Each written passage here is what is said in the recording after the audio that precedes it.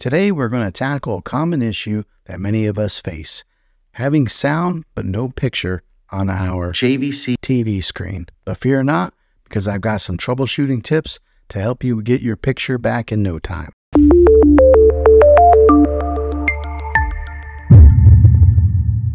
So you're hearing the sound but not seeing anything on your screen. First things first, let's check the basics. Unplug your TV from the wall outlet and wait 60 seconds. Sometimes a simple power cycle can do wonders, but be patient here and wait the whole 60 seconds.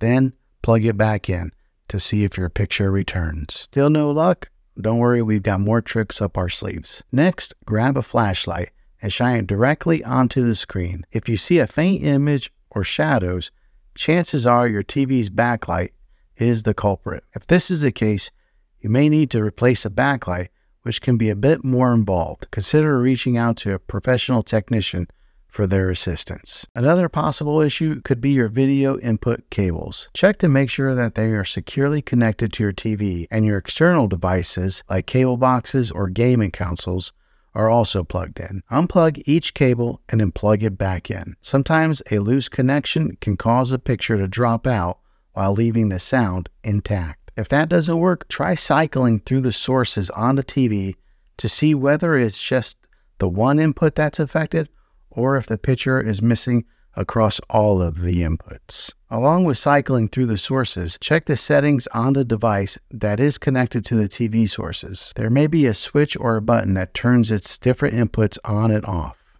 Another easy troubleshooting method would be to plug the TV into a different wall outlet altogether. Sometimes you might have a faulty outlet that could be causing issues to your TV. Well, there you have it, folks. A few simple troubleshooting tips to help you fix your TV when you've got sound but no picture. Now remember, patience is the key, and if all else fails, don't hesitate to seek out to the manufacturer for help. If this video was helpful, give it a thumbs up and subscribe to my channel.